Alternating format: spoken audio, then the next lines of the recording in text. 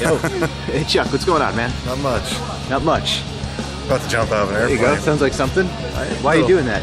Yeah, special occasion? It's fun. Yeah, it is. All right. so uh, you're excited then? Not nervous at all? Definitely. Yeah. Scared shitless.